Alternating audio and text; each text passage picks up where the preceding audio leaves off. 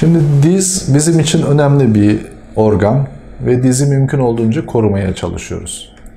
Ve yapabileceğimiz en basit tedaviden en ağır tedaviye göre tedavilerimizi sıralayıp hastanın hangi basamakta olduğuna karar verdikten sonra o basamaktaki tedaviyi yapıp daha sonraki basamakları daha sonra saklıyoruz elimizde.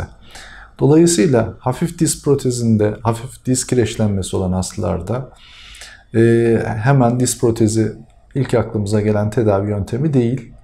Öncelikle e, eklem içi enjeksiyonlar, e, bazı kıkırdak takviyesi ilaçlar, ağrı kesiciler, fizik tedavi, egzersiz gibi e, diğer tedavi yöntemlerinde tabii ki devreye sokuyoruz. Fakat çok ileri düzeyde kireçlenmesi olan hastalarda e, son döneme gelmişse eğer o zaman da protez ameliyatı öneriyoruz.